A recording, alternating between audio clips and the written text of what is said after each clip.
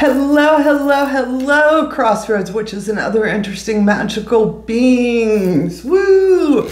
This is an update on a video that I had shot last month when I was doing research and I found out that there was these cursed trees in the area and it really intrigued me. And I also reached out and asked several of you what your cursed, if you had any cursed sites, cursed trees.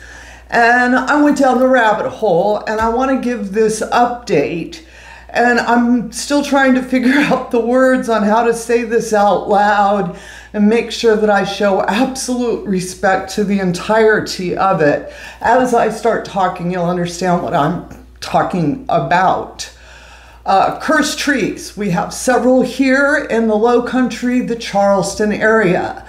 There is one that is over on the Coming Tree Plantation. And there's this great urban myth that it's cursed because uh, it was an Indian chief's uh, was buried there and it's cursed. And that just didn't make sense to me. All right.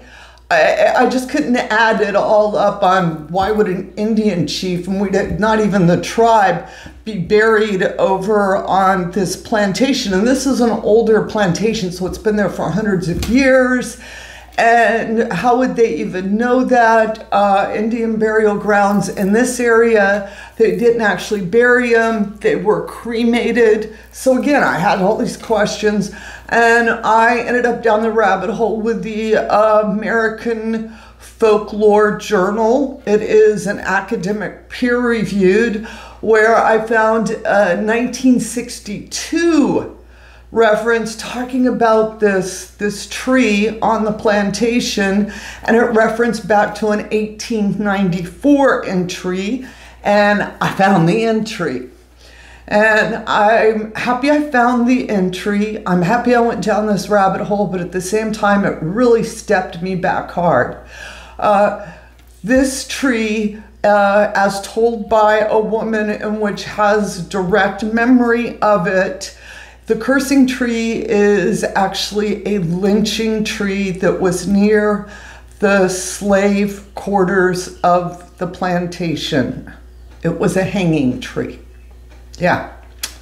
Which was very common in the 1700s through the 1800s, all the, well, it's common all the way up through some terrible time periods into the 1900s with lynchings.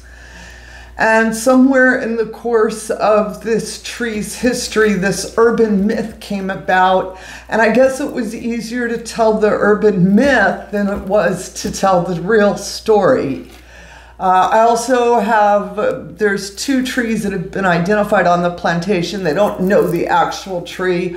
Um, based on my research, I would tell you it was the tree that was closest to the slave quarters themselves because uh, this 1894 entry is, is a woman in which uh, is descendant from the plantation. She was a, a, young child when she has memory of three bodies hanging in the tree. So I would use hers uh, more so than I would use the other uh, research that I found because she's a true eyewitness to this. So this sent me down some other rabbit holes of, oh my gosh, how many are there here? And in the process, I found out that there are several of these trees here in my area and which nobody talks about. We have completely uh, erased the history or we have completely whitewashed the history. Uh, in downtown Charleston is another lynching tree, and which is where uh, the civil rights movement, 1964, the march started at that tree and went to the courthouse. Uh, the tree is at the corner of park. I did go see the tree. I opted not to take pictures of it. Um, just didn't feel right, is what I'm going to go. I, I, sat down at the base of the tree. I definitely cried some tears. Uh, brought my Bible and read out loud a couple of verses and walked around the tree talking about that, you know, we're trying to do better and that you're not forgotten. Excuse the bravado in my voice.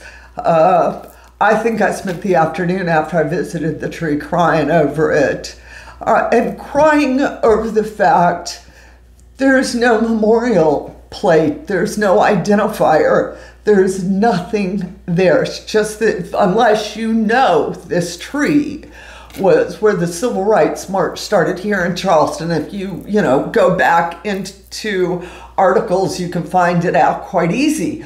But in the park itself, there's no memorial, there's no marking, there's no nothing on it. And I found that that was the truth for almost all of the trees um, here. What we're calling cursed trees are vestiges of a horrific time period where innocent people were hung from trees. And so now that I found that out with the Coming Tree plantation and that original cursed tree, I've made the decision I don't want to go out there after I visited the tree in downtown Charleston.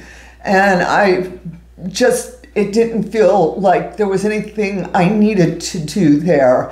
Uh, there wasn't anything that was calling to me. But what it really made me realize was that a lot of our urban myths are hiding darker truths and not to take things at face value. Do your research and double check your research and go down further past it. Look in the bibliographies, you know, uh, get up on the internet, Google it three or four times, and see what else other people are, are saying or doing in regards to some of these uh, sites. You know, and it just really stepped me back all the way around with my research, and that we need to be able to tell these stories. Uh, we can't forget our history because then it gets repeated. Y'all know what I'm saying? So, this is my cursed tree update that is just a terrible, terrible thing. And I'm so happy I found out. I'm so grateful I got to go to downtown Charleston. Like I said, I, I did go to that tree and, and stood there, um, just letting them know that we haven't forgotten and that all of us, how important it is for us to look around our own local areas and learn the real history. Now, I do have another little up on now, where in the middle of all my research, I found out that there's a crossroads right down here that supposedly several people have made deals with the devil. And so I'm doing some research on that and I will keep you updated with it as far as what I find out. Uh, I'm gonna just be like, oh my, oh my, is all I have to say when looking for cursed sites. Why is it cursed? What does it mean?